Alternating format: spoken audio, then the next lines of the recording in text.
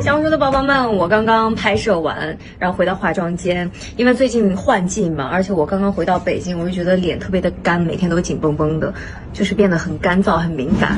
我不知道你们跟不跟我一样，我觉得换季的时候大家应该都是一样的。但是呢，今天我想推荐一款我最近用的非常非常好用的一个单品给大家，噔噔噔噔，就是这一款最近。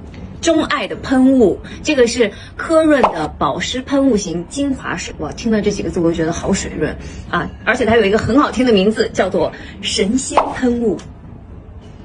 这款喷雾的质地非常的特别，因为我们平时我喷的那些喷雾都是水质的，而科润这一款呢，它不一样的就是它喷出来是乳白色的精华质地。喷到脸上呢，我就觉得脸一点都不黏腻，非常的干爽。而且像我平时上完妆，就怕它喷雾不够细，把妆弄花了，这个就完全不会，而且还非常的滋润。我给你们试一下哈，哇，而且它按一下会一直有水雾在喷，好清爽啊！我在手上给你们试一下哈，你看，你看，看，看，哎，看，它是乳白色的质地，就是它里面有精华存在，就很舒服，而且它的。雾面非常的薄，然后它有一个特别棒的成分，就是神经酰胺功能成分，所以呢，它的这个名字非常好听，就是叫神仙喷雾。其实我们很多肌肤问题呢，都是神经酰胺不足造成的。在换季的时候，我们皮肤会出现的问题，比如说发红啊、脱皮啊、敏感或者是其他问题的时候呢，可以帮我们快速的修护、舒缓和维稳我们的皮肤问题。不论是任何的季节，都可以让我们拥有强韧的肌肤屏护力。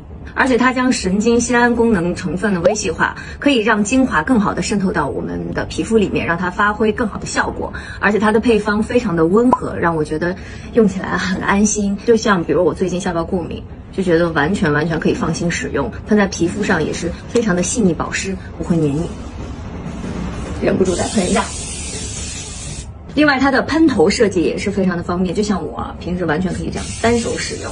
而且我以前有一些就是倒过来，它可能就是没有办法喷出来。像这款呢，它就是可以把瓶身完全转过来喷，也是没有问题的。